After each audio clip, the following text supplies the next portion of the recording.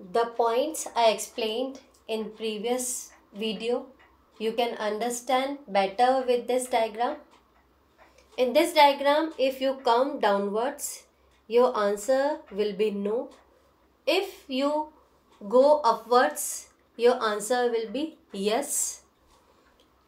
As the question given is a square a rhombus?